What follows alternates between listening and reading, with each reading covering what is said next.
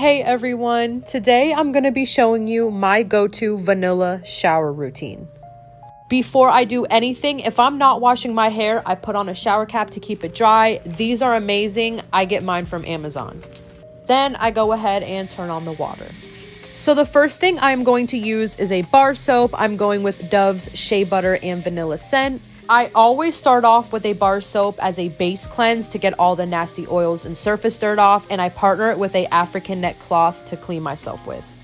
The best shower tool, hands down. I promise it will change your skin and your life. And now I'm starting to clean myself. I clean my arms, my fingers, my elbows. Off camera, I do my armpits, belly button, chest, neck, ears, back, all the little crevices. You gotta get them. Of course, you can't forget your lower part of your body, so I did my legs off camera, I did my feet, not showing my toes. Then I just wash the cloth off and put it to dry. Next, I use a body wash just to finish the cleansing process. I am going with Dove's Pampering, the same scent as the bar soap. And with the wash, I am using a completely different shower tool. It's called a silicone body scrubber another great shower product. Once I went to these, I never used loofahs again.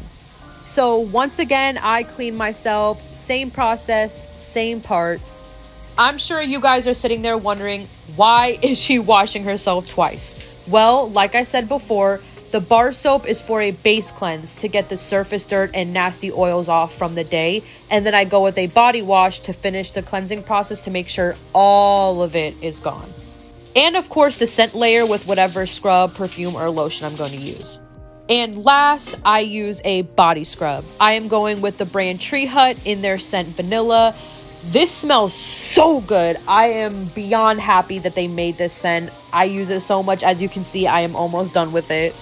Today, I only did my upper body because in a couple days, I'm going to be shaving and exfoliating my legs. Once I was done, I picked out Victoria's Secret's Bare Vanilla Set, such a classic and will always be one of my faves. I hope you guys enjoyed. Stay tuned for more.